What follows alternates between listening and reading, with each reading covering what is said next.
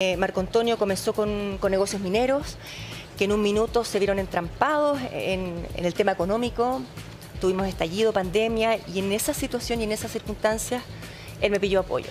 Me pidió apoyo económico, por supuesto que se lo brindé, eh, le presté dinero a través de cheques. Y, y lo que puedo decir en resumen es que hoy sí está siendo próspero ese negocio y se le está yendo muy bien, pero en ese momento fue una situación difícil y, y, yo apoyé. ¿Y tú siempre supiste hacia dónde iban esos cheques que le prestaste?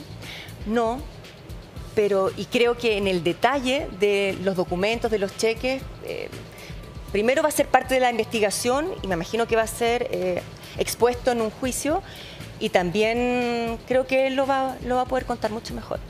Ya, pero eran cheques que iban en blanco o eran montos fijos que tú sabías más o menos. No quiero entrar en detalles, o sea, preferiría